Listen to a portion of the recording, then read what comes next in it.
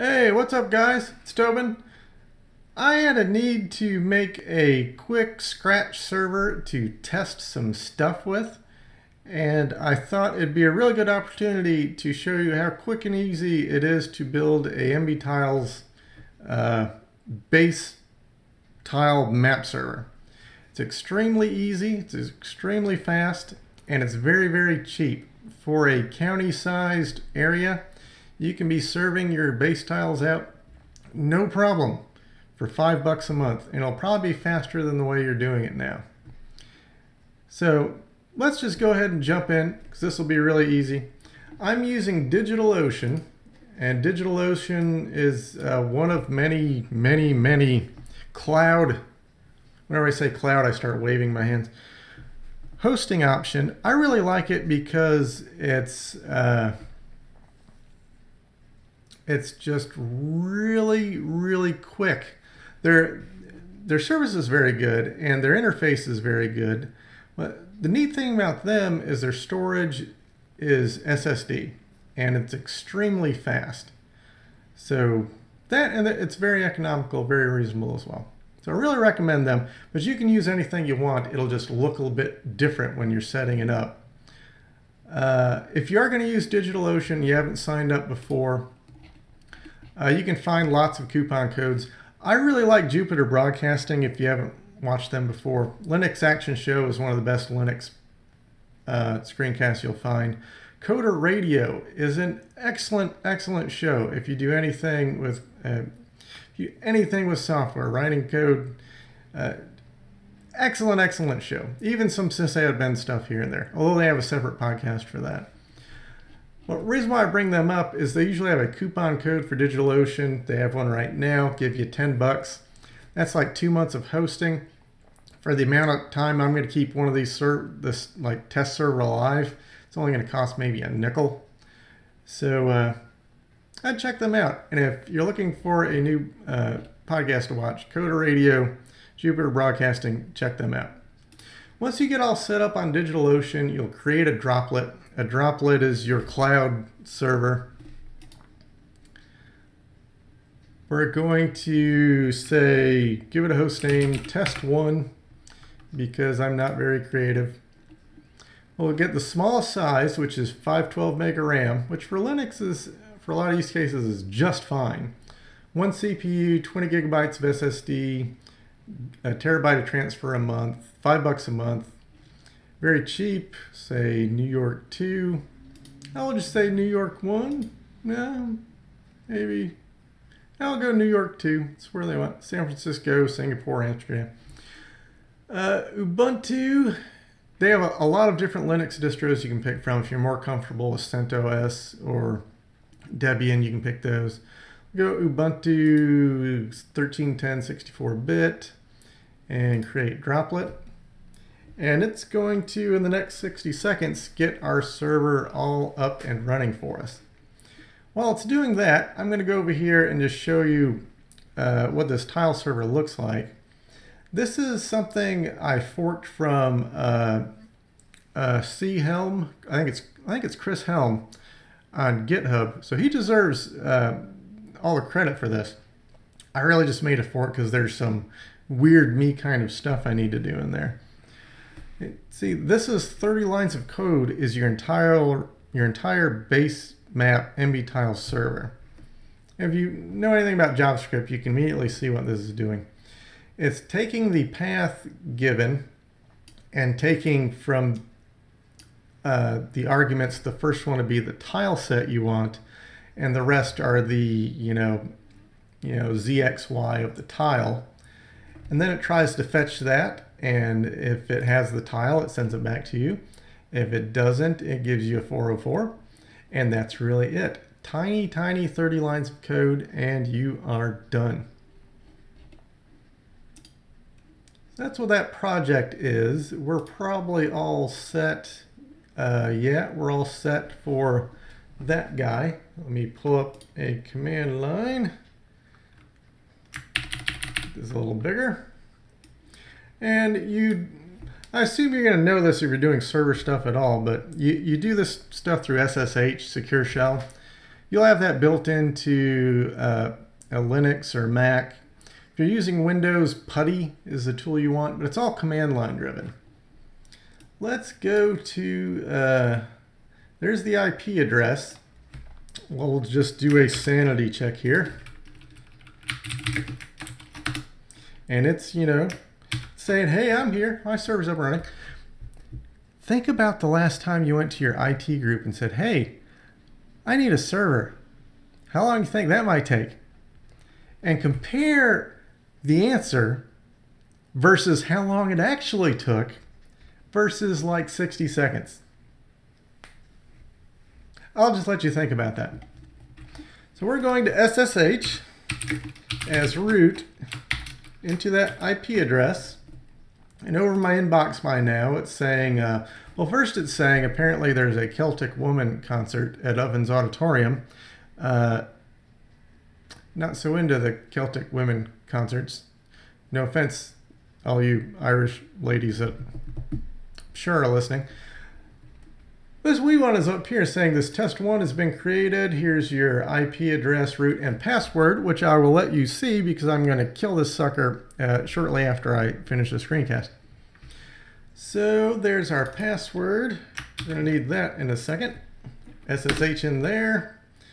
And it's saying, oh, I've probably, they've probably given me this IP address before, so it's saying the key is different. So we're going to remove that sucker.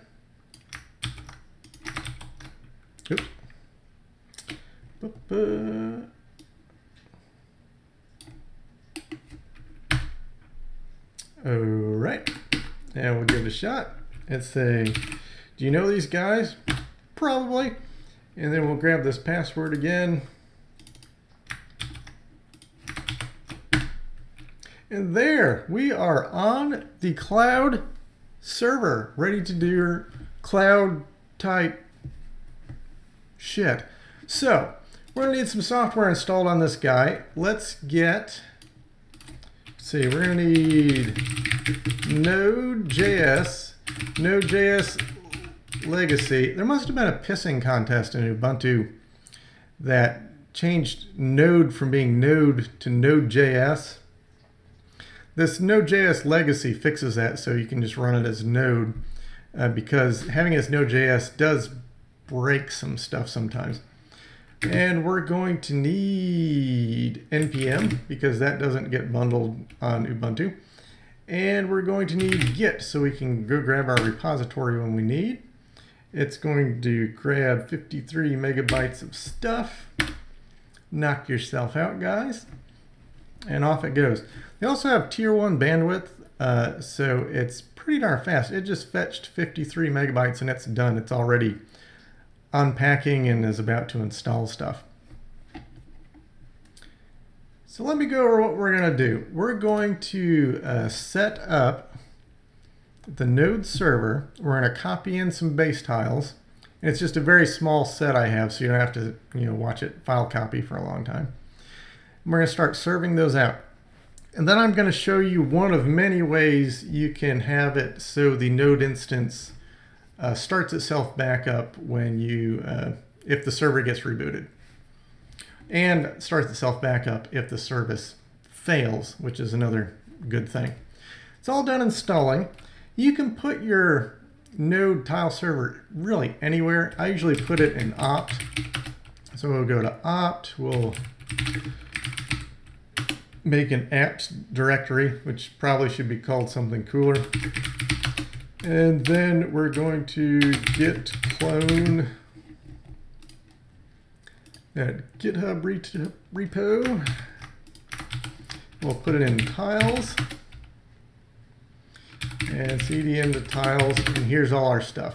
We got our server.js and we have a couple things. I have some things where you can install it as a Windows service uh, using uh, N S SM, non-sucking service manager, something like that for Windows, and in the starter script for uh, Linux.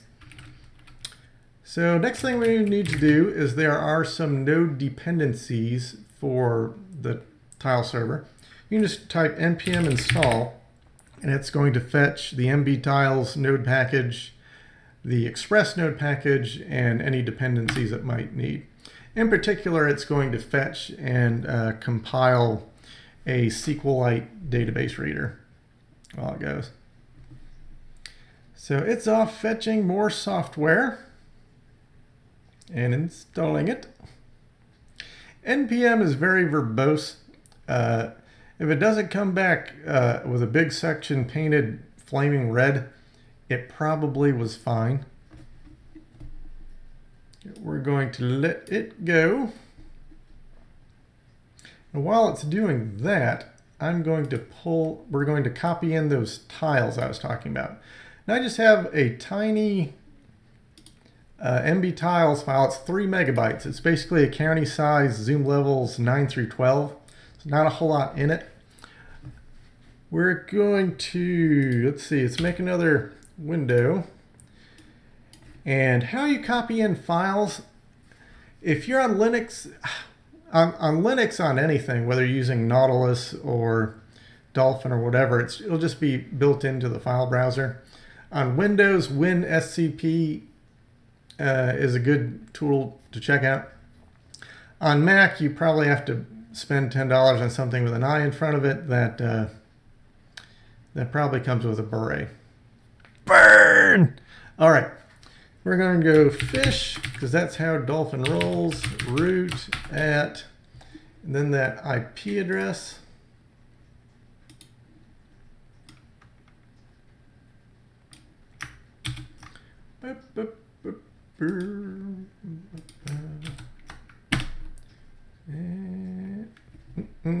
Well, it's going. It's going to ask for the password. I'm going to put in this big long password.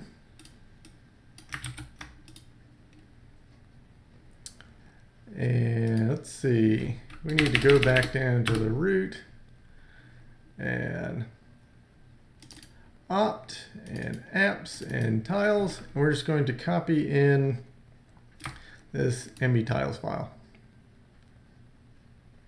And it's up here copying away. We're all done installing our uh, node requirements. It's all done copying in the file. So let's start the sucker up. Let's go node server.js and it's going to start listening on port 3000. Now I've got a little demo HTML file, which basically is just loading a leaflet map and uh, our tile server. Now this sucker was dot 159. So we're going to, I think it actually gave me an IP address that I had for a different server, so it's already in there. That's kind of handy actually except for when I'm trying to SSH into it again. So now we'll go over to this little thing, refresh this. Oh, did I bork something?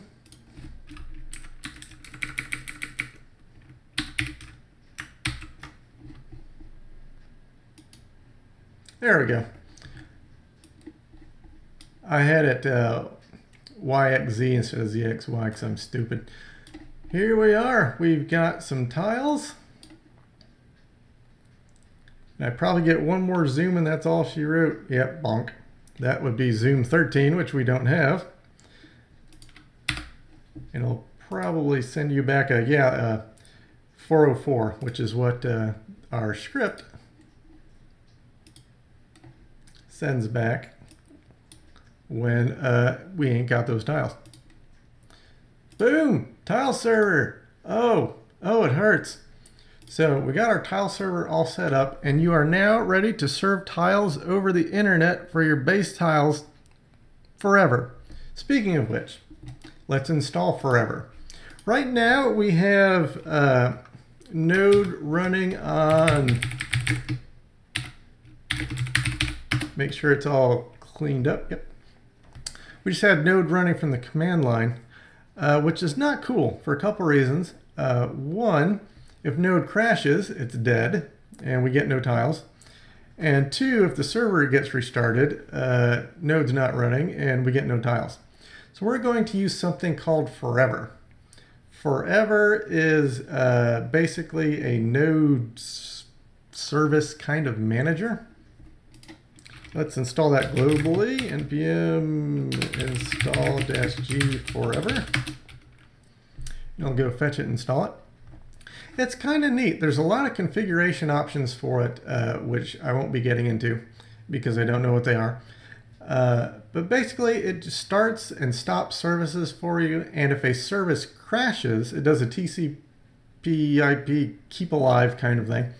Crashes after like a 100 milliseconds or something, it'll restart it back up for you, which is perfect.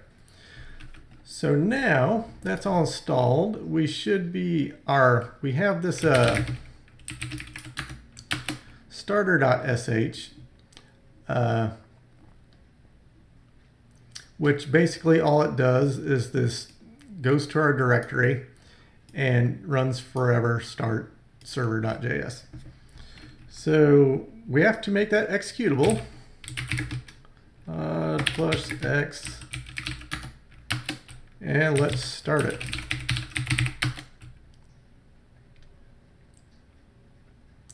And it's giving me some warnings. Everyone's always warning me about stuff. We go forever list, and it'll say we've got this sucker running. And we should, well, these are kind of cached right now. We go curl, go into Private browsing modes, these are not cached and see the server's still up and running and going. So now we've got forever running, which will watch our service and restart it if it goes kablam. The next thing we want to do is make sure that starts whenever the server restarts. The proper way to do this would be through systemd or upstart. Uh, we're not proper people, we're just going to use cron. And I put some instructions for it, doing that right in the uh, uh, right in the starter.sh. So basically we want that. We'll go cron tab edit, cron tab dash E, and we'll use nano because I'm not a Vim guy. We'll go to the bottom and we'll paste that in here. And we're saying whenever we reboot, run that starter script. And that was that opt apps tiles starter.sh. So now it's set to whenever the server reboots, it'll automatically start that sucker up for us. And since Forever's managing it, if it ever crashes while it's running, Forever we'll start it back up as well. How about that? You now have a base MB Tiles server that if you're like a any kind of size organization that can you know put your tiles in under say 20 gigabytes which is how much space you have you are golden you're good to go and I've I'm going to put some benchmarks probably in this post or another one uh, showing you how blazingly fast uh, this tile server is especially versus a spinning platter Windows server which used to be our base tile server still is for some things and uh, you'll be able to uh, have your eyeballs pop out. Because this tile server does not really hit your CPU at all. Your CPU will remain pretty flatlined. It doesn't really hit your RAM very much at all. Node.js process will be very tiny. Really, your biggest bottleneck is uh, your your disk I/O, and that's where that SSD is just killer, and it really really flies.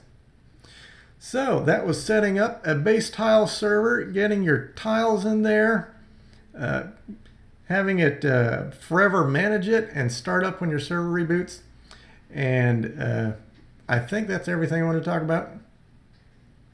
And I will catch you guys later. See ya. If I can turn this off.